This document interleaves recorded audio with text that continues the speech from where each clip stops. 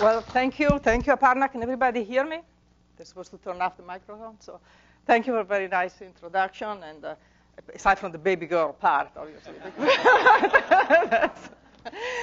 anyway, so as, uh, as Greg said, um, some of us are here for uh, quite a while. I actually come, uh, I'm at Syracuse, New York, and believe me, I feel pretty lucky that I'm spending four months in Santa Barbara right now, especially this winter. I don't know, some of you may come from the East Coast.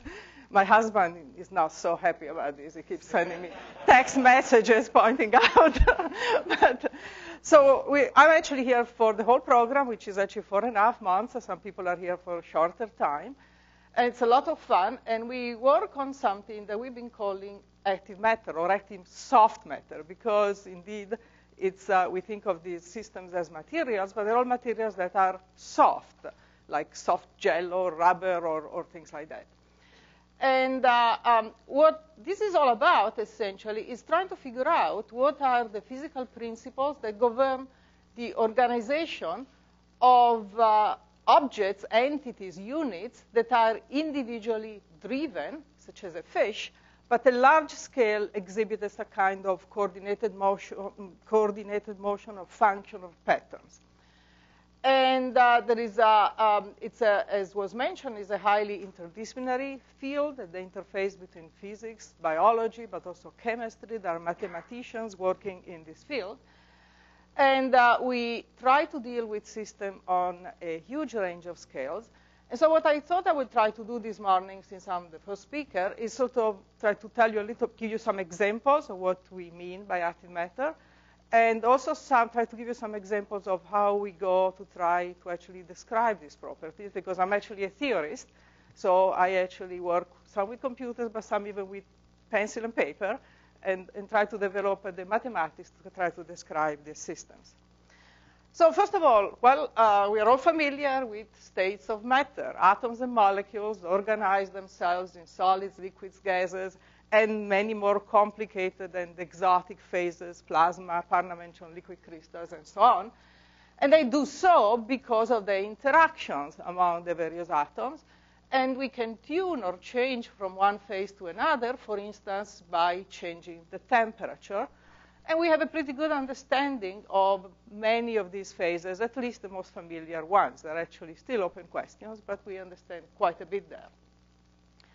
So now suppose we have instead a collection of uh, things, of objects, of units that are self-propelled, such as bacteria, cells, some synthetic swimmers, birds, fish, and so on. And they do something together collectively, again, because of their interactions. Can we think of this system as a new kind of active matter? And the kind of questions we might want to ask is what new states, there might be new states that are possible, what are the properties of these states, and how, what do we change instead of changing temperature? What do we change go, to go from one state to another? So that's the kind of things we, we want to ask. So let me just start with a few quick examples, and then um, we've gone from there. So a simple example is the one of bacteria. So this is E. coli, and a little later today, in fact, at the second talk, Jeff Guasto will actually tell you a lot more about how individual bacteria actually swim, which is very interesting. This is E. coli. E. coli is a body about 2 to 5 micron long, a long tail of flagella, and it swims by a characteristic motion which has been called run and tumble because it goes in a straight line for a while, see this one, then it spreads out its tail and it changes direction quite substantially, then it goes in a straight line again. And uh, uh, E. coli typically swims at a speed, say, of about 10 micron per second, so this is a fairly dilute suspension of E. coli. When you have many E. coli together, a dense suspension of E. coli, the behavior is really quite different. If you feed them well, give them a lot of food, put on a rich substrate, they swirl around and they look like, this looks sort of like a turbulent fluid, a fluid undergoing turbulence. In fact, these people have called this bacterial turbulence. And they keep swimming around like this, and this, there's a lot of swirling motion here, lots of vorticity. And, uh, well, why do they do this, and how can we describe this motion? If you actually starve them, or in, in various ways, they actually can form very complex patterns. As you can see here, this dotted pattern, or this other even more complex pattern.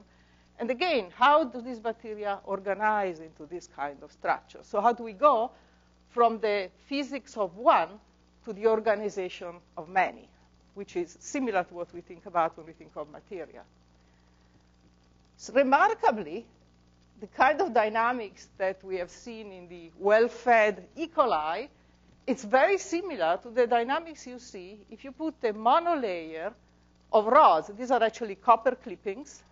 They're all the same. Each copper clipping, I think, is about half a millimeter in length. Um, they are on a horizontal plane, which is vibrated vertically at some frequency, fairly low amplitude. This is about 2,000, this is actually precisely, sorry, they were counted, 2,820 rods. The whole thing is 13 centimeter in diameter, so sorry, it's up 5 millimeter, the length of the rods. And uh, um, again, lots of swirling motion, very similar kind of patterns. Yes, and please do ask questions anytime. Yeah. I was just wondering, in the crowded places, are they stacking on top of No, these are not. These are actually, um, because they're vibrated at a very, very small amplitude. The amplitude of vibration, I forgot exactly what it is, but it's a tiny fraction of, of the thickness of this rod. So it's, uh, and it's actually important that they be a monolayer for, for these. And by the way, I should say that I have freely stolen from all my colleagues their work and their images and movies. And I further decided not to actually even mention their names for two reasons. One, they're typically not here, not here other than a few, but, uh, and two, probably they, they think they're very famous, but I think you probably wouldn't know their names. But what I have done is try to put uh, uh, the place where the work was done. And so you can read it there. This work was done actually in Bangalore in, uh, in India. Um, another example, cells. Xavier Trepat later today, this afternoon, will tell a, a lot more about this. In individual cells, this is a fibroblast uh, from a chicken. I cheated slightly. It's actually two different types of cells, but let me be a little loose here with. So this is a fibroblast, uh, which is part of the connective tissue from a, from uh, a chick embryo. Cells actually move. They move on substrates, for instance much more slowly than E. coli, this total movie duration is two hours. So we are on a very different kind of scale here. If you pack many cells together, these are endothelial cells packed at very high density so that there is really no empty space. Then, again, you see motions. You see, again, some of these swirling motions. This movie is looped is very short in duration because it actually took several hours to take because these cells move much, much more slowly than E. coli, 35 micron per hour. What the, the dots, the, the sort of bright places are actually cell divisions. There are some, but not that many.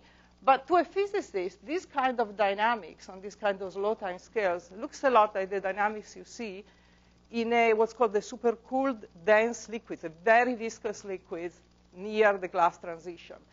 And so um, is is a tissue a liquid or a solid? That's a question we can ask. Or perhaps the most proper way to say is that we see the tissue often behaves sort of like a viscoelastic liquid, like silly putty. It, flows if you stretch it very slowly, but if you um, um, make a ball out of it, you can bounce it on the table, then it behaves elastically. So another type of sort of living material we would like to understand. And finally, the example that uh, Greg mentioned at the beginning. Um, this is a starling of Flocks. This is actually also a movie. Um, a collaboration in, uh, based in Rome called the StarFlag Collaboration spent several years um, taking data from flocks of starlings, uh, ranging in size from 200 to 50,000 starlings, and uh, analyzing them with a computer to try to essentially reverse engineer the interactions that drive this kind of behavior. And as I, as I will try to show you, they were actually quite successful. And now we have some better understanding of uh, this type of so-called flocking behavior. This happens without a leader. There is no leader. Um, and the question one really wants to understand is how do these starlings man manage to communicate information so quickly? The speed at which information is transmitted to the flock is much larger than the reaction time of, of an individual starling. And so something else happens here collectively that drives this type of organization, this type of motion. The, um, the flock itself looks sort of like a soft, deformable body or sort of a fluid that moves around in the sky. So again, how can physics help us understand all of these? Or can, can physics help us understand all of these? And what I would like to do is to go through three examples of how we try to go about this, or maybe two, we'll see. so first of all, about, tell you a bit about something called the Vicsek model of flocking, so how we model actual flocking. Then we'll go to a very different scale. We'll go inside the individual cell and tell you about something we call active liquid crystals. And then maybe if I have time, I'll tell you about the strange properties of what we call an active gas. So a system of these moving particles, but a very low density. So let's start with the flocking. Um, back in, uh, uh, actually, 1987, Craig Reynolds, um, a computer scientist working for the animation industry, developed a model, um, a computer-based model, that was intended for uh, uh, describing, for, use, for user to, to, produce animation, and was actually used with some variation to describe, to produce things like the wildebeest stampede in The Lion King, as an example. Um, a few years later, a Hungarian physicist, Tamás Vicsek, he actually did not know about Craig Reynolds' work, but he was actually interested in trying to describe bird flocking. And he sort of reinvented, without knowing, reinvented actually Craig Reynolds' model. And now physicists actually refer to this model as the Vicsek model, but credit really should originally go to Craig Reynolds.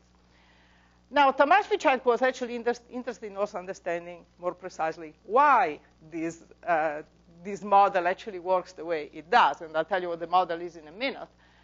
And uh, he was a, a, what we call a condensed matter physicist. He worked on properties of materials. And so in building the model, he was actually inspired by what he knew about magnetism.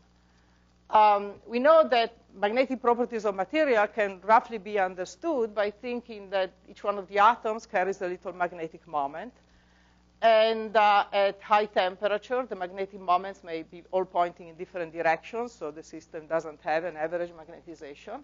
But as you say, for instance, lower the temperature, they might all order in a fixed direction in space, and the system becomes a magnet. Now, why does this happen? It happens because of interaction. One of these magnetic moments essentially provides a magnetic field, which is felt by the neighboring magnetic moment and tends to make them align with each other. And of course, moving around the magnetic moment I mean, getting it to rotate requires some energy, and so these interactions become effective at low temperature, and that's why we get this kind of phase transition. This is an example of what we call in physics a phase transition, like uh, liquid freezing into ice, and we have a pretty good understanding of how this happens and, and why. So what Vicsek said, he said, okay, so suppose we bird, we, let's take a bird. Physicists like to simplify, and so we take a bird and we model it as a magnetic moment, or as we call it, a spin. So a bird is equal to a vector. It's really, though, a velocity vector, not a magnetic moment, and it's a velocity vector that can move, that can fly. It's a flying spin. It has a fixed speed, a fixed length, and the only thing, the only degree of freedom, the only thing that can change is the direction in which it travels. And uh, so that's for one. So now let's see what are the interaction rules that Vicsek chose to specify. They're actually very, very simple.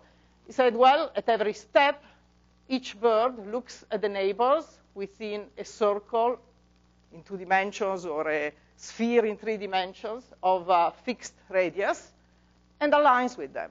So if I am going in the opposite direction to all my neighbors, I will look around, I will correct, and align with my neighbors, and then I go on in that direction. And then at, the next time step, I check my neighborhood again, and I repeat the process. However, birds make mistake, mistakes. And so this alignment is not perfect. So I align with my neighbor, but I always make some mistakes. which means there is noise in the problem. The noise is sort of the size of the mean of the mistakes that the birds make. And it acts sort of like a temperature acts in the real material. And what you find if you actually write down equations for these models and try to, you can, for instance, put them on a computer and integrate them, you find that indeed this model exhibits a phase transition as a function of the strength of the noise if the noise is large, the birds make a lot of mistakes, it's always in a disordered state, like the spin, when the system is not magnetized, they're flying in all directions. But when the noise is small enough, the, uh, the actually spins order, they actually form a flock. And this happens at a well-defined value of the noise, just like the transition from a disordered magnetic system to a ferromagnetic system happens at a very precise value of temperature. So I just thought, yeah. So what's the parameter which makes that transition? There is temperature. The noise. The noise. The noise is, so what I said is that, you know, I, I, I look at my neighbors, I align with them, but not exactly, some, I make some mistakes. So maybe I don't, maybe I'm supposed to go, um, I don't know, in this direction. Well, actually, there's a bit of mistake. I actually go in that direction. Now, the amplitude of the mistakes that I allow in my, in my system, that's what I call the noise. Okay. more like a biological thing rather than physics, that? Uh, that is true. So this is a, what we call a rule-based model. And in fact, a question that I personally have been working on for quite some time, although I wasn't planning to tell you about it, is can we get the same kind of behavior if instead of having these, which are really like points with an arrow, we actually have physical quantity. For instance, suppose these were rods that are actually with a physical size that are traveling in this direction rods actually do align just because they're elongated and they take up space. So can that model also give you some phase transition like this? And it turns out the answer is partly yes, and, and so on. So, but this is a rule-based model. Yes. What about wing size? What about? Wing size. Oh, there's nothing. As, as, I said, you know, the bird becomes a point carrying an arrow. I mean, people are looking at that too, and and and there are, but for now, this is the, what we call the minimal model you could possibly make that gives you something interesting. Of course, there are lots and lots of other things you can add and, and worry about, and you should, okay? But that's it's a different effect. But, you know, to, it, it's sort of interesting that this really simple model will actually give you something, something interesting. Let, let me actually show you what it does. I, I'm, I hope this will work. Let's see. Okay. Ah? Ah, okay. So what uh, I, I, actually found uh, a simulation on the web, uh, which is made by scientists at the University of St. Thomas in Minnesota. I was already excited because I thought I made contact with them. I thought it was the Virgin Islands, but it's Minnesota. so, uh, ah, doesn't look like I did something bad here. Now probably. Okay. Let's see if we can at least go back. Oh, now we're completely stuck.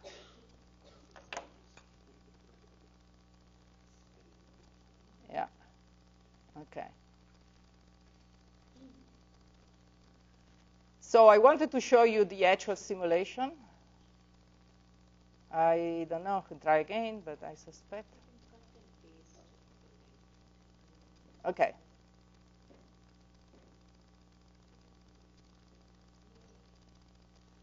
Okay, so um, this is a, a, simulation of this model. The only parameter is the noise. So we set the noise. Let's put a high noise, first of all. We set the noise and then run it. And let's see what happens. These birds, which just last points carrying an arrow, that's all they are. They're going in all different directions. They're not doing anything particularly interesting. But now let's see what happens when we decrease the noise. Some value, they flock, right? now, remember, there are no attractive interaction of any kind here. That's really the point that is interesting. There are no attractive interaction of any kind. The only interaction, but, but there is a rule which is really not very physical. This is true, yes. Is this 2D? This is 2D. People have done 3D, but this is, this is 2D, yes, yes. So you can go and play with it. Uh, now let's see if we can recover.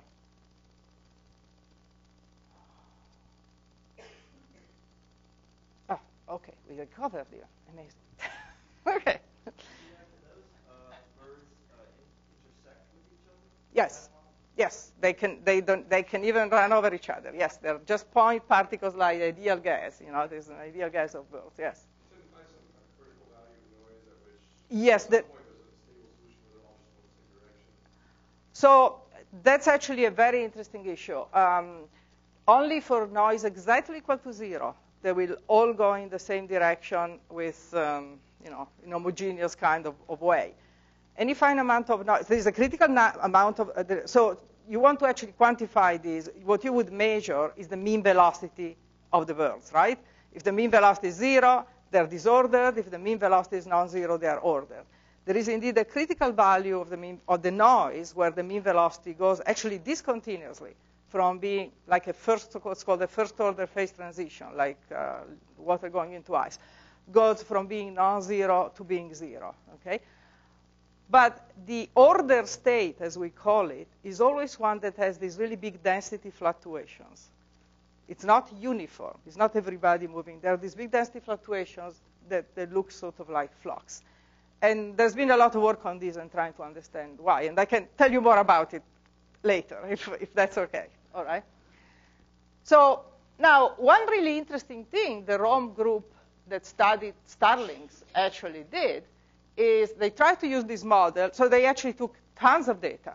They took a lot of images, snapshots of flocks, millions and millions of them, and then tried to put them on a computer. Of course, the very hard thing, it took them years to figure out. I mean, imagine you have two snapshots of, of uh, um, a flock. The birds are just black dots. What you need to know is who is who. You need to know the one that was here now before, who, where, where, where is he now, right? That was very hard. That was a very hard computational pro problem that they solved using optimization techniques. And they were able then to try to reproduce the observations using this type of model, with some more ingredients in it, but essentially this type of model. And by doing that, what they uh, realized is an interesting thing, which is that actually the model works fairly well, but with one change. And the change is that uh, birds actually do not interact with their neighbors within, and here I'm always using two dimensions, um, do not interact with their neighbors in uh, a circle of fixed length, but they always interact with the closest, starlings at least, starlings always interact with the closest six or seven neighbors. And this makes a difference, especially if you are, if the density is low or you are sort of the edge of the flock as you can kind of, I've tried to kind of sketch here. And presumably this ingredient is what allows the flock to be so robust. For instance, to respond so quickly to a predator. Here was a falcon. Now the falcon is flying away, but you must have seen sometime flocks attract by, um, attacked by predators, and the flock falls, but then manages to stay connected or very or reconnect very quickly.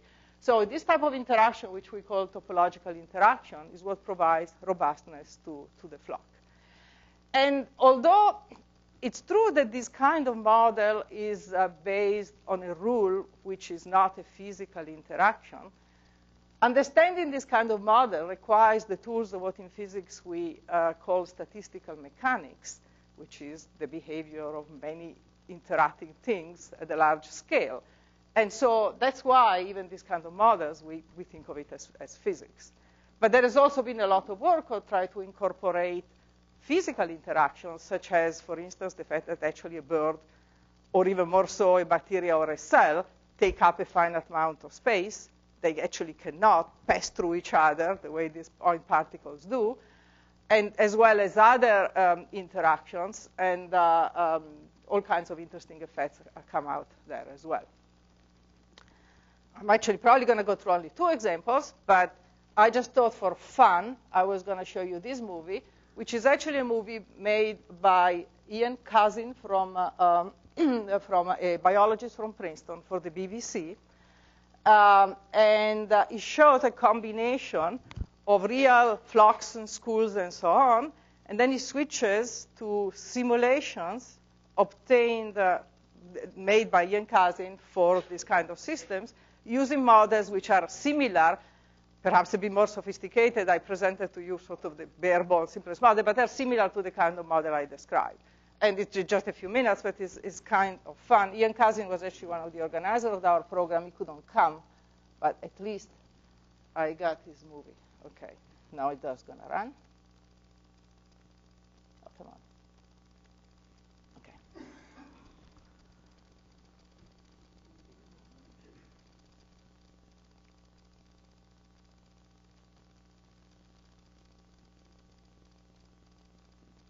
Now we go to the computer.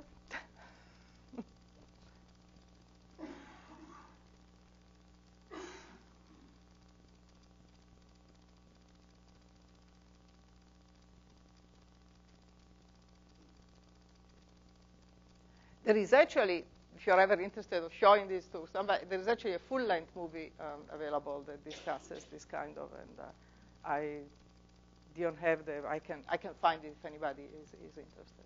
Uh, so. And Ian, as a biologist, he actually um, studies uh, uh, uh, swarms of locusts. He also studies, does a lot of experiments on fish in the lab in tanks and, um, and then tries to model the behavior he sees using this kind of models. Yes. Behavior, then if you take smaller number of birds or fish or whatever, then it will not exhibit that collective behavior. Have, have they done those kind of studies? It, it, it may not, and I mean, first of all, um, you know, what they talked about was for starlings. And actually, we learned at our conference yesterday works for similar models work for midges, not birds. okay, but uh, it certainly is true that not every every bird uh, um, flocks in this particular way. Even geese, they form a very different type of formation. Then you know this kind of model doesn't work. Um, biologists and zoologists are studying um, more in detail the interaction and behavior of, of birds in the condition of small when, when the numbers are small. Yeah. Uh, physicists haven't really looked at that yet. But yes, you're right. Yes.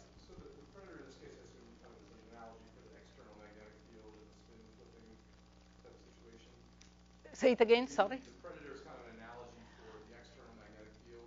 No, the, the predator, I, no, no, no, the predator is not. So actually, what's really important here is I see there is no magnetic field, right? The ordering occurs spontaneously.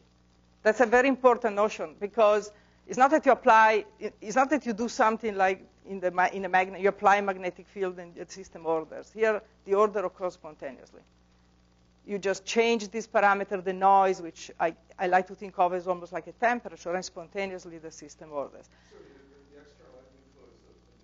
the, the, the, predator, yeah, the preda- I showed you the predator because what I wanted to do to, to, uh, to say there was to point out that we think this type of interaction is the one that allows the flock to remain robust and cohesive when something like a predator comes in is one of the ingredients that allows the information to be propagated as quickly as it does through the flock. Yes. Oh, okay.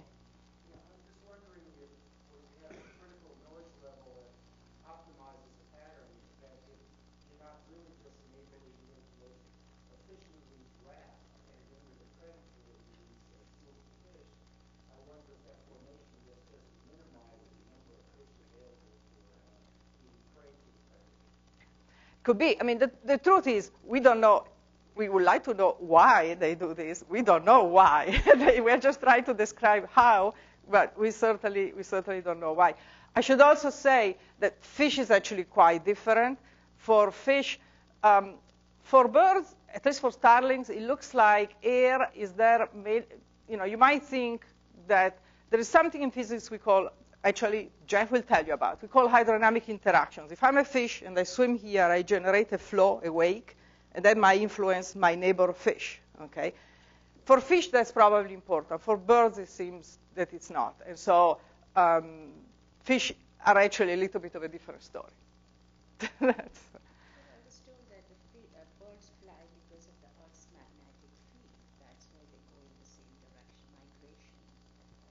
Some uh, they that, that might direct the migration, but this is not. I'm not talking about migration. I'm just talking. These uh, the starlings do this kind of behavior, you know, this flocking. like in Rome, uh, for about uh, half an hour every night near sunset. That's what they do. They're not going anywhere. they just they're just there. But again, we don't know why. I'm not, you know, not trying to say I'm not trying to say that we understand why. Okay, that's that's a different different story. Okay, so um, I would like to tell you a second story here, and I don't think I'll get to the third, but I'll tell you the second story. And we're going to go to a very different scale. We're going to go inside the cell now and, and look at what happens there. So we have an active system now inside the cell. And uh, what I want to argue is that what we're going to see is what I would like to call an active liquid crystal. So let me spend a minute on what is a liquid crystal. Actually, I'm sure you all know the liquid crystal is what drives what is at the base of your, your displays, of your computer and cell phones and so on. But the simplest of liquid crystal is, is the following. If you had a collection of rod-like molecules, this system can actually order, can, it's, a, it's a liquid, elongated rod-like molecule, can exist in two states. It can exist in a state where the rod-like molecule point in all directions, and therefore this is a liquid with no particular order. We call it an isotropic liquid. Or either as you increase the density or you lower the temperature, depending on the material, the rods may actually order in a fixed direction of space. Clearly, this system has no, is not like my, my bird, my arrows before. These are just rods. They don't have an arrow, or if you like, you could think of them as having two arrows, because there is only a preferred, a preferred orientation, not a preferred direction. This way is the same as that way. Okay? This is called a nematic liquid crystal. And um, it's very easy to understand if you were to try to pick up a lot of pencils on the table. Now, pencils do have a point, so let, us forget that. If you like, like to pick up a lot of sticks on the table, simply because the sticks take up space, you will see that they eventually get high density. They, it, it's easier for to pack them when they are pointing all in the same direction of space. So this effect can arise simply because these sticks or these molecules take up space, essentially, so as you increase the density. So that's, that's a nematic liquid crystal. However, order, this order of these molecules is never perfect. And this is actually an uh, image from a 1949 issue of Life magazine showing the result of a strike of lumber workers in Finland, as a matter of fact. These are logs going down the Kemi River in northern Finland. And there is a lot of alignment locally. There is, there is some order, but there is also a lot of what we call in physics topological defects or defects. But the structure, so the region where these things are not aligned, actually turns out have a very well-defined geometry or topology that uh, we can understand and describe. For instance, here you see they're kind of coming together. It's almost like a triangle here of three, three aligned regions coming together. And of course, this is a bit of a cheat because the river, the river is flowing. But I thought it was a nice photo. I, when I found it on the web, I couldn't resist showing it. So, okay, so that's a liquid, nematic liquid crystal, it's called. Now let's go inside the cell. If you, here is an image of a cell, many cells actually. So what you see stained in blue is the nucleus. What you see stained in green, so it's a cell. So there's a cell membrane, sort of like a bag, right? And inside there's actually a lot, there's, there's, there are lots of proteins, lots of things. So, but so the things I want to focus on are what is here stained in green and in red, which are in particular the ones stained in green, which are, um, I think, yeah, which are um, called microtubules. They are very long uh, filaments, protein, which are filamentary, so very, very long rods, flexible but actually fairly stiff, that form a network inside the cell and there are actually various types. There are something called microtubules. There are something called actin. There is something called intermediate filaments. And all together, they form a network that sort of provides the cell its rigidity. It's called the cytoskeleton. It sort of serves as, I call it muscle and skeleton to the cell in some sense, because it also determines the mechanical properties of the cell. So they're really long filaments. And they are also cross-linked. There are also a lot of very small protein inside the cell. And some of them uh, bind together two of these filaments. We say cross-linked two filaments. So that you really have a very dense polymer network in there. Now, these filaments, so what people have done here, a group at Brandeis, has extracted these microtubules, these filaments from a cell, and put them in a suspension in water. And what you see here is that this is an image of the microtubules, or actually these are bundles of microtubules. And you see a lot of order, of nematic order, a lot of alignment, and you see some of these defects I was alluding to before. So this is a nematic, just like the logs. This is a nematic of defects, but it's made of uh, polymers or proteins that are extracted from living cells. Now, there's another ingredient inside the cell. Yes? So you just throw them in water and they're in, on a very thin. Well, what, this is much more complicated than that because these are actually bundles. But what you actually, what you would do is take the protein which is called tubulin, which is like the monomer, and then it aggregates, forming the, fi the, filaments in a rather complex way. So if you actually want to, but this is a little bit more involved than that, and I can tell you precisely how it's done a little bit later. So, but there are other, many other things inside the cell. But one thing that is very interesting to us is a class of protein called uh, uh, motor protein. And in particular, there is one called kinesin, which, uh, which is uh, relevant here. Motor proteins are truly molecular machines. They're small proteins, globular proteins. They're capable of binding to, say, so here it's a very tiny image of a microtubule with a motor protein bound to it. These motor proteins are capable of transforming chemical energy into mechanical work, change their shape, and literally walk along this microtubule. A cluster of these motor protein can cross-link two microtubules and walk on one and on the other, and therefore continuously remodel the network. To do this, they need a fuel, which is ITP, ATP, adenosine triphosphate, which is the fuel. What they do, they use the chemical energy from the hydrolysis of ATP to fuel themselves.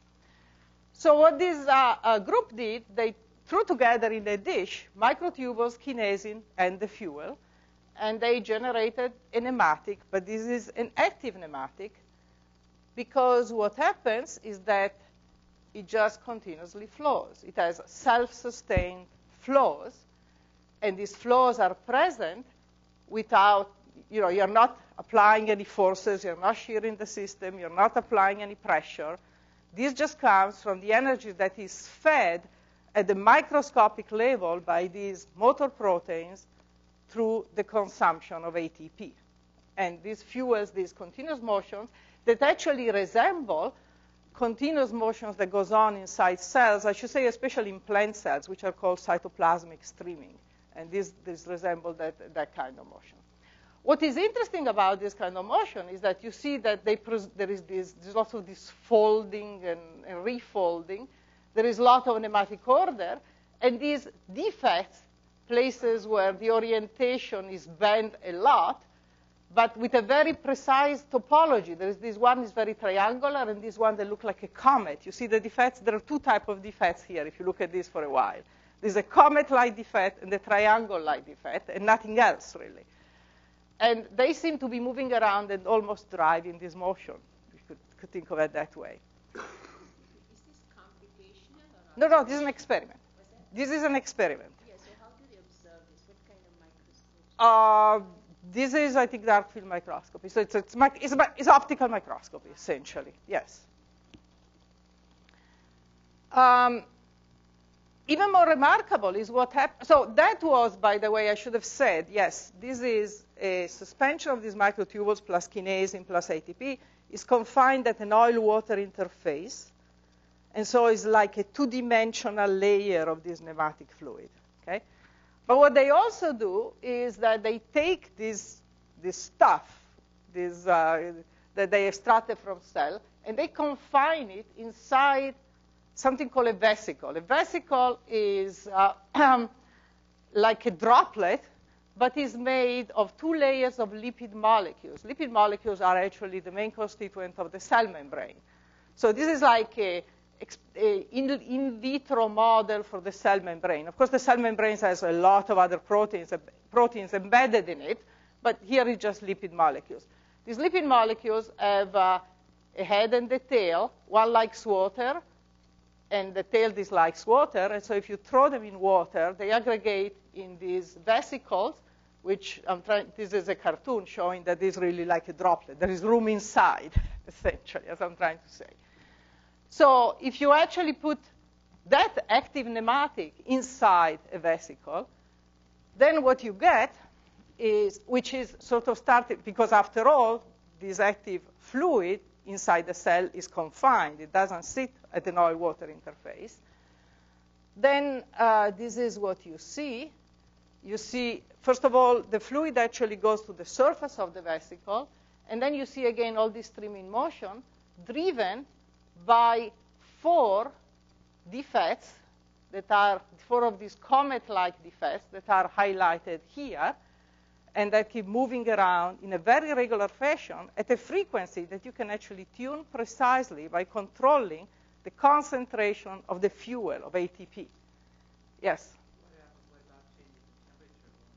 Temperature is pretty much, um, they, you know, temperature, nobody, they haven't changed the temperature. And generally, the, when people are doing experiments with biological systems, cells or ex cell extra, extras, very, temperature is not uh, very important. So you don't really, because after all, living systems are pretty much maintained at sort of the same temperature, at least if you want them happy and alive.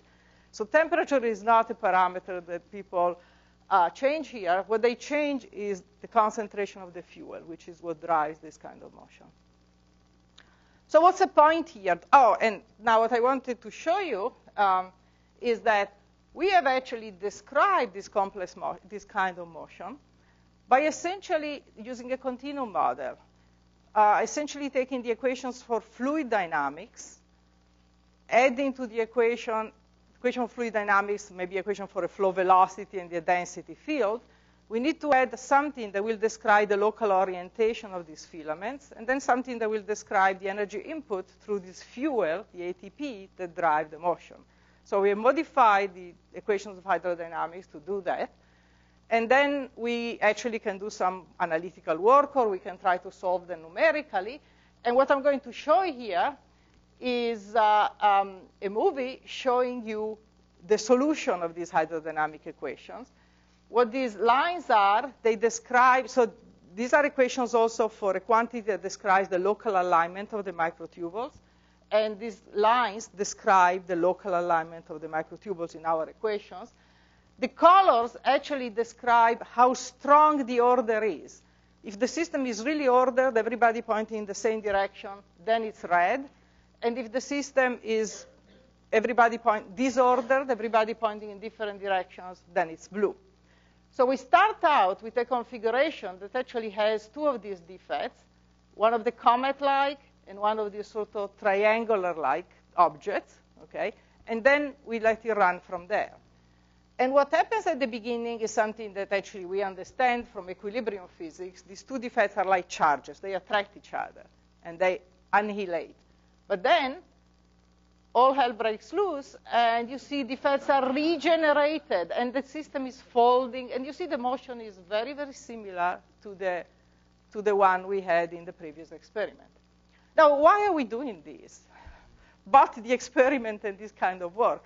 What one is trying to do here is actually to try to get a quantitative understanding of what you would call things that are you know, the characterized living systems. I mean, one of them, for instance, is uh, spontaneous motion.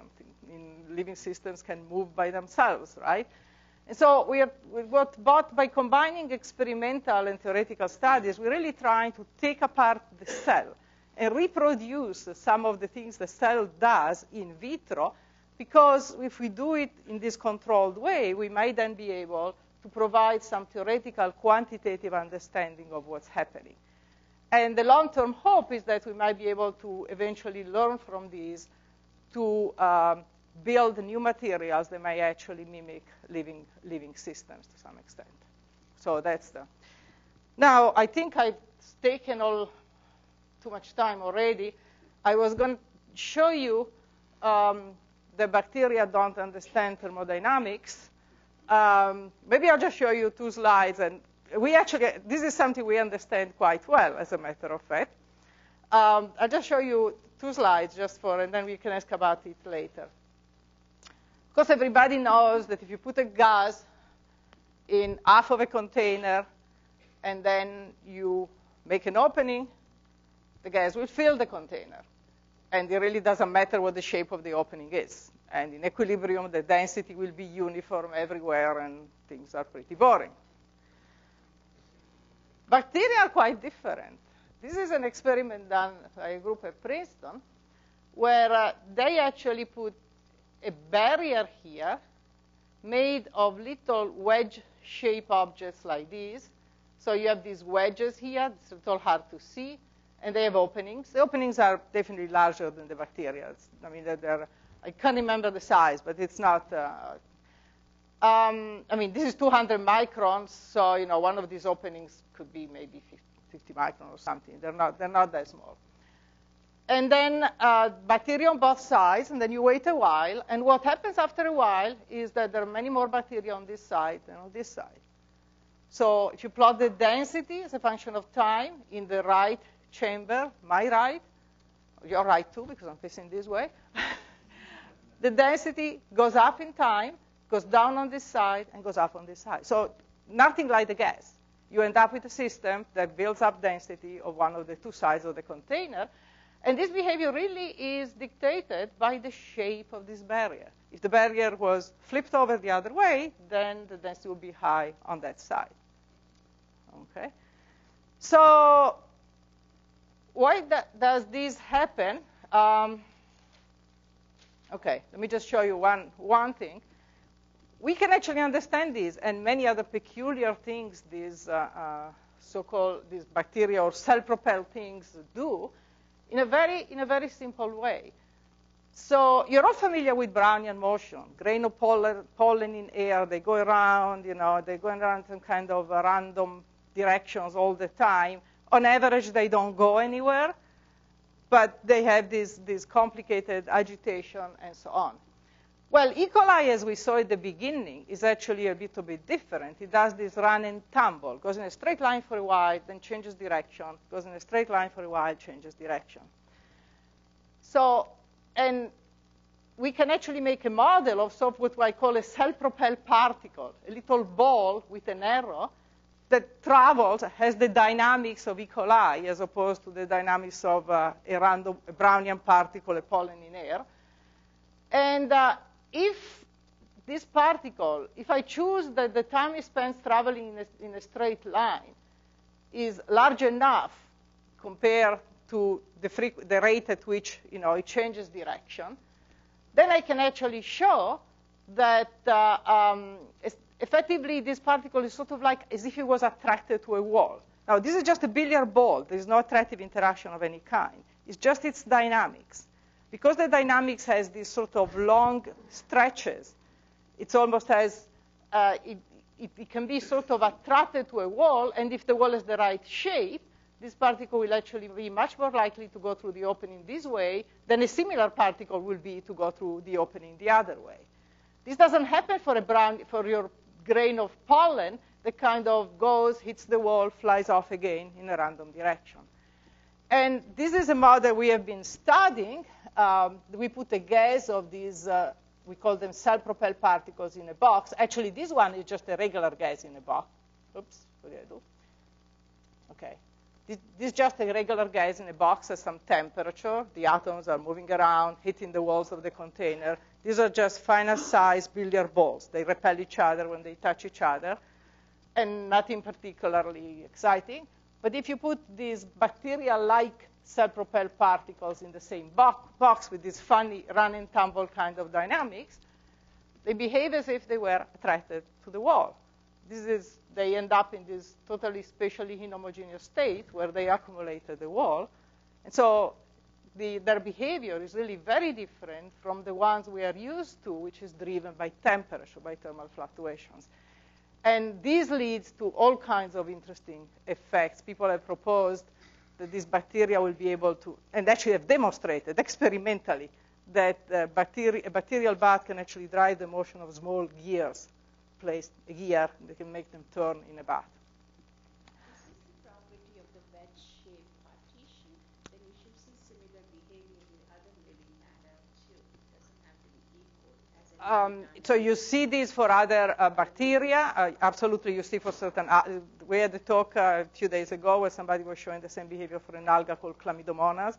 So you see it provided the the thing you're interested in uh, has a dynamics where they they do long flights and changes of direction, provided the time they spend going straight is long enough, you know, compared to some other characteristic time in the problem. So yes, absolutely. So I will stop here. I will just leave you with some questions, actually, I thought, that we are uh, asking, we're trying to answer. And so, first of all, sort of the general question I raised at the beginning, how does nature organize individual active units to create this kind of coherent motion, but also function? In cells of, and tissues also have precise functions at a, lar- at a large scale. Can we use whatever we learn, the organizing principles that nature has put together to actually perhaps build new materials or new tiny machines. And conversely, there is actually a number of synthetic living-like systems that people are building, micro swimmers, for instance, nano swimmers, and so on. I didn't tell you anything about those, but there are lots of them. And the advantage of those is they can actually be studied in the lab under very controlled ways. They're much simpler than cells, say.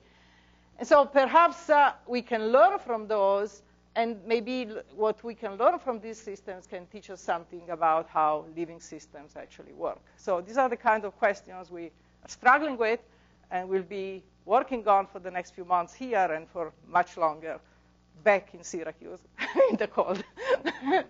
So thank you, and uh, I hope there are more questions. Yeah.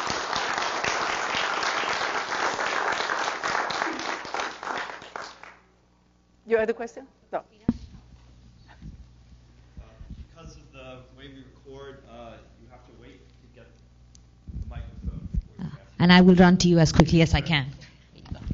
Um, some of the images you were showing us in the videos look um, a lot like plasma motion, and they look a lot like self-assembly of nanoparticles. But because those aren't um, self-propelled, are they related?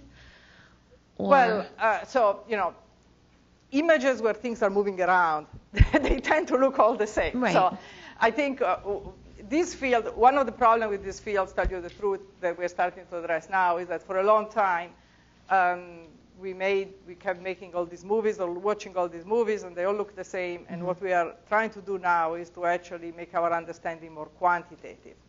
So, but I would say that the difference is sort of the last two movies I showed you in some sense.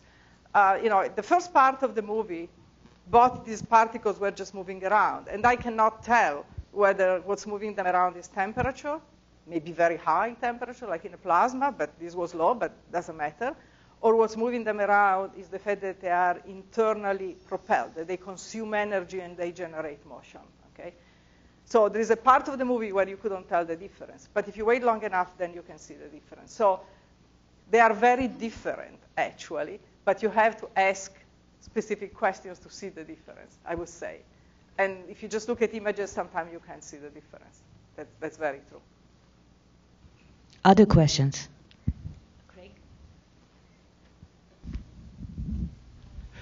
Yeah, I was wondering. Um, most of the images you showed, of course, were with birds and fish, which can move three dimensionally in the medium in which they exist. Has anything been done to study, um, like large mammals, quadrupeds, uh, to see if we see similar type of Yes. m- motions yes, like yes, that? people are doing that, and, and yes, they are see, they are seeing similar type of behavior. Right? I just felt there was only so many animal pictures I, or movies I wanted to show you, but absolutely, and yes, that's that's a very good point. Those indeed are two-dimensional, and so far most of the models, not the ones for the birds for flocking, but most of the models we are studying have been in two dimensions. And so you're right, actually, that's, that's something. I haven't personally worked on that, but that's certainly something that people, that people are working on and are using these kind of models to understand. You know, um, yeah. So, in your talk, you mentioned a couple of different mechanisms of, about uh, what would cause this kind of flocking. One of them was the kind of the shape of the object, the pencils that you were talking about, and the other was kind of the run and tumble way that the bacteria moves. Uh, is are there a handful of three or four or five characteristics that you think kind of dominate this sort of behavior? So um, I would say that the, cru- the crucial one is uh, what I call the run and tumble, and I uh, because that's at the single particle. So one a crucial thing at the single particle level is this what I call run and tumble dynamics, meaning a dynamics that is different from the one of again the pollen in air that has a sort of a straight motion for a while and then a change in direction. The change in direction doesn't need to be as drastic as it is, say, for E. coli. It can be a more gentle one, but that's, that's essentially the feature. Concerning this, the shape, I mean, one of the things we are trying to do, actually, is precisely, I think, what you are alluding to, which is to classify the type of behavior, okay? And, and that is, in some sense, very, the kind of classification we are moving towards is very much based on sort of a combination of shape and mechanism of motion which is essentially the following. The first system I showed, um, I had these arrows, like these magnets, and they can order, and, and, in this case, they can order in a state that is also moving in one direction. And, you know, this way is different from this way. There is a broken symmetry there, and, and, and that's one class of systems, systems that are on average moving and are described, if you want to describe them, you have to describe them by a vector, something that has both an orientation and a direction. The second class of system, when I showed you these logs and then these what I call the nematic, that's actually systems that are moving, but they're really not going anywhere. They might actually be moving, some cells do this, they might be moving back and forth. These microtubules, when they're acted upon by the motor protein, actually do that. They kind of move back and forth. So there is what we call active motion, but they're not going anywhere. So then the state that you see, if I were to average over the entire system, the mean velocity would be zero. Always. So that's not a good, what we call order parameter, something to distinguish order state from disorder state. But there is a lot of this mean, mean flow. So one of the crucial things to, to is, is whether you're talking about particles that are actually going somewhere individually, or are talking about particles that are just active maybe because they go back and forth individually. And both these ingredients can give you this, this kind. I don't know if I answered your question, but we can talk some more about this. Uh, I'm wondering when you are looking at your motor molecules in a um, solution that is enabling them to, uh, you know, change ATP to ADP, and you know, uh, are you looking at the opportunity to uh, look at the folding of molecules with an increase or decrease in uh, the amount of available energy through ATP, and then see how different uh, you know protein structures can evolve. And you have any uh, you know sort of state variables like enthalpy or entropy that you coordinate with this? So um, I, I I haven't looked at this at all. So understanding you know the fold, protein folding is a big problem in physics, and lots of people working on that. Um, I I haven't, I, haven't, I haven't worked on this at all, and that's not what I was referring to when I was talking about. Here, I'm really talking about proteins that can change shape. They can, you know, they, they're small proteins. Uh, actually, they're not, and, and they, they, might, they are actually able to um, to convert by changing this energy into mechan- chemical energy into mechanical energy. They actually change shape. And so, for instance, you might have a protein that looks like it actually does. I mean, the cartoon I had is very realistic. It looks like a filament with two feet, although the feet are actually called the head. but uh, and the, the, head binds to the microtubules, and they essentially can literally step the two pieces, the two feet. I would like to call them feet. The two feet kind of the molecule makes a turn that causes the feet that was the foot that was in the back to move forward. So it, I'm not, protein folding is a different issue. There you're talking about the chemicals, the structure of the, you know, the, how the molecules themselves arrange and determine the structure of the protein. I'm not talking about that at all. But that's another important area of uh, which physicists work on, absolutely. In the back over here. Uh, This has just opened so many possibilities in my mind for the complexity of it.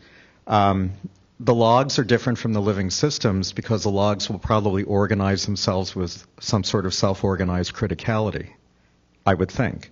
Um, And, or, or in terms of the living systems, it depends on how wide the eyesight is of the birds or the fish when they spot the danger. So it seems to me something can be built into the model, some sort of Bayesian probability of we know this, so we're going to go there. And that will also rule the interaction. Um, absolutely. So actually, I, I think Andy Bernoff um, maybe will tell you more, who is a mathematician, will tell you more about uh, um, models of flocking a little bit more in detail later today. But um, it's certainly true that the way you know the logs organize. By the way, the logs themselves, there is also the flowing river, so it, that was truly a cheat. okay, let's let's leave the logs aside. But um, so what, what I mean is that the logs organize, the flowing river provides something like the external magnetic field. It helps them organize. So that's why I'm saying it's, it's really a bit of a cheat. So, but it's certainly true that the laws are different from the one of equilibrium system, as we call them, that, you know, equilibrium liquid crystals and so on. Um, but um, one of the things about these Starling models is that they've actually shown that uh, they, we actually do use precisely the language, if nothing else, and the ideas of equilibrium phase transition. And uh, the Starling model, um, people argue that actually what the Starlings are indeed close to a critical state. So there are some connections to, uh, to what you mentioned, the self-organized criticality and things like that. And yes, there is a lot more to be explored. Now, people are also working on better models where indeed, you know, the fish don't see all their neighbors equally well in the back and in the front, obviously. Or, or the birds. The birds, you know, have actually a pretty narrow angle, and so you can actually improve these models by putting that in and, and so on. But to me as a physicist, you know, what's really interesting is what can you get with the simplest possible model you can make? Uh, to me, that's, that's actually the most interesting question. How far can you go with, with the simplest model? And then if you cannot describe what you're trying to describe, you make it more complicated. But I would say that that's the philosophy of, of physics as, as opposed to some of the other sciences, such, such as biology and so on. Well, that's true. W- with the models you were showing, the greater the noise, the more random the distribution. And as you limit the noise, it's similar to animals being able to think to go in a certain direction. They would self limit their own noise. Maybe that's how they regulate. I mean, exactly. How do they regulate? No, I just say there's a noise. How do they regulate it? I don't know. That's, yeah, absolutely. Thank you. Oh, sorry. One is very simple. Just um, we were you were mentioning looking at pretty movies and so on. So at a certain point, the flow that you showed the uh, cytoplasmic proteins looked to me like um, Jupiter's clouds and the red spot and so on. But this is yours. If I understood, this is deceiving. That's that's simply Yeah, chaos fluctuations and not Yeah. okay. Although uh, you can use ideas from um, chaos to describe these kind of flows too. Hmm. So, you know, the math that we use to describe these things is often very much the same. So, I had a more complicated question, though. When we looked at the starlings or the fish, those are three dimensional structures in the sense that there's an X, Y, Z. But do they form a 2D surface? You know, are there hollow spots in the, the folding? starlings form 3D flocks. Okay. Others, uh, you know, these, these not, not all birds are the same. Thank you. you know, that's, I'm just wondering, uh, with the starlings, it looked like um, the flocks have large numbers, uh, and you spoke about uh, the errors that occur, um, especially uh, in that influencing the shape of the flock and the behavior. Uh, what I'm wondering is, is there a certain minimum number of starlings that's necessary to result in the flocking behavior? I think a few hundred. Yeah. A couple of hundred, say. Yeah. So, yes, yes, there is. Is, that is that related to the fact that um, all of the starlings, if there was too few of them, then all of the starlings would be, or many of the starlings would they then be on the outside.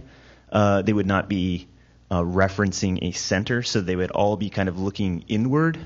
say if I had five or six starlings, they'd all be kind of referencing toward one direction. They couldn't that, be centered. That may be, although we don't exactly know. You know, there is another complication. When we make these uh, numerical models, we always have what we call periodic boundary conditions, meaning if a starling lives here, he comes back this way immediately.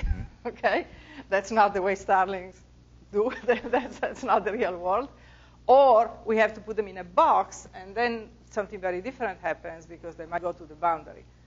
So you are right. It could very well be that too many of them would be on the surface with fewer guys. To although um, the, the thing is, because they have this interaction with the seven closest neighbor, or six or seven closest neighbor, the ones on the surface actually have as strong an interaction as the one in the middle. So I, it's perhaps more related to the fact that, that we don't generally see collective behavior, as was pointed out here, when we have small numbers. And, and that's true for gas, even, you know, for anything, uh, even an equilibrium system. So. Is there a, a quantity or a, a force between two starlings that you can quantize that would make them come together, or that you can say don't- that you- by quantize, you don't mean uh, uh, Uh, no. quantize in the quantum sense. no, no, just a number- a, No, a number between I'm if you have two starlings that they'll they come together with a They- like a fictitious force or something. Well, so in this model, the force is sort of like the force that drives two magnets, too, but it, that's not a real force, right? And I mean, actually, starlings never, certainly in, in the starlings, um, what we call excluded volume, the finest size, really doesn't matter because they never come close each other to touch it, each other. So that, that's really not important. But if, if, if they're separate, they'll come to to They will. They, to they, a certain point. You know, the models we are making um, essentially just put in a rule by hand that they they will um, that they will come together. I, I kind of put in put it in by hand. If I were to make a model where things have a finer size, like they are actually rods that take up space, that will also provide an interaction. If they were to come close to each other Uh-huh. enough, they would provide an interaction that will make them align. But that doesn't happen for the starling, so that's, that's not a good model there. So, so I don't know. that's, that's the answer.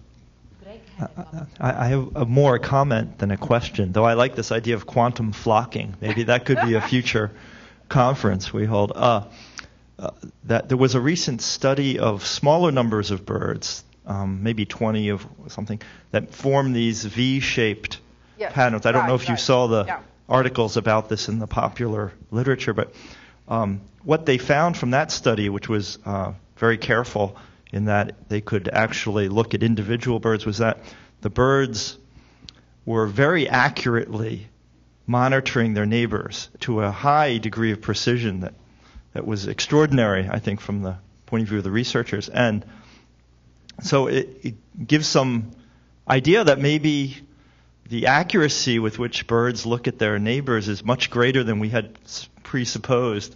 And maybe the noise comes from other I- sources. Uh, I, I agree, but the question in, a, in, a, in something in a flock made of, say, you know, thousands of birds, the question remains: How is the information transmitted so quickly? And I think we are arguing that the way to understand that is through ideas from phase transitions, essentially. Uh, because even if you're looking very accurate to your neighbors, that doesn't explain how, you know, I'm not sure I know your name, but you there in the back of the room are immediately going to know you're supposed to be doing what I'm doing. So it's, uh, but anyway, but yeah, but, that, but that's also very possible, though. I, think I think it's certainly true that. Uh, Okay, one last question. Yeah, you mentioned about these studies being extended to mammals.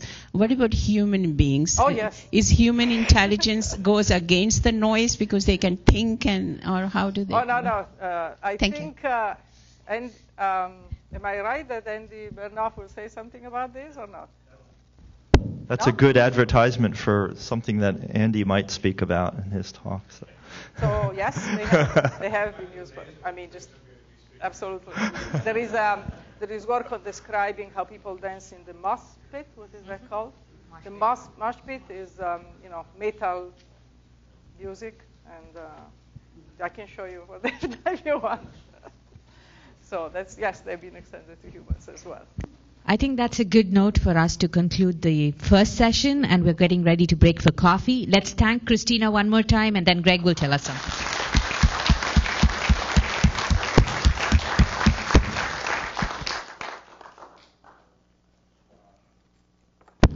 So let us deflock now and uh, or, or re- reflock maybe. Uh, when do we come back here in this room? 10:45. Okay, see you all back here.